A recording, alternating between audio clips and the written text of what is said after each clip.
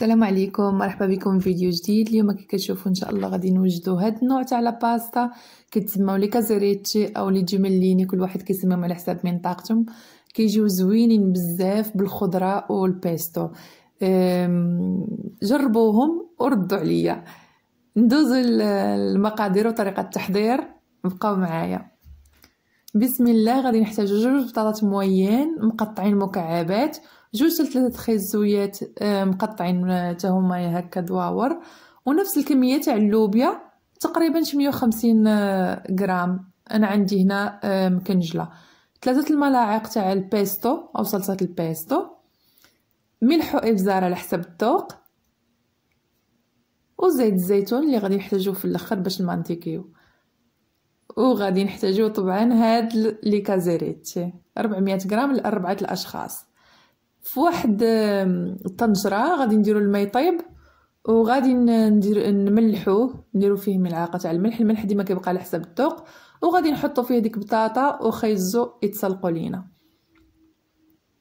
اللوبيا ما غاديش نزيدها عليهم علاش هاد اللوبيا راها بحال طيبة حيت مكونجيليا سرجي العطا داز هنا الخضرة قربت تسلق.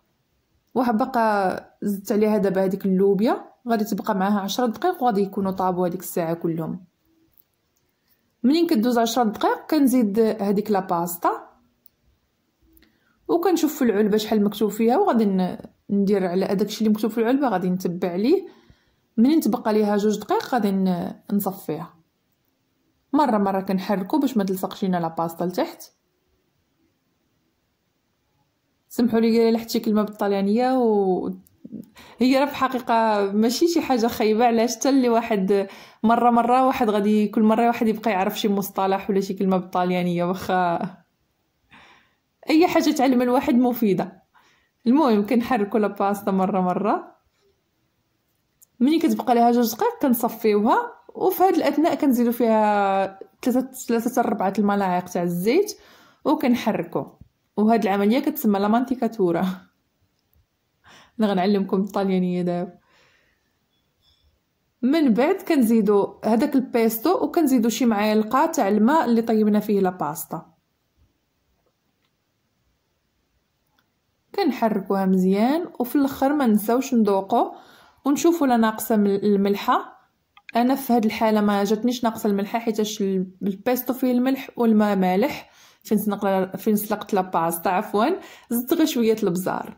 وهذا هو الطبق تاعنا كنقدموه هكايا نزوقوه بشي ورقة تاع الحبق لا بغينا هذا اختياري. وبصحتكم وراحتكم. إلا عجبكم الطبق اليوم وجربتوه ما تنسوش تخلوا لي تعليق ولايك وسكريبيتي في القناه والسلام عليكم ورحمة الله. ولا جربتوه بالصحة والراحة.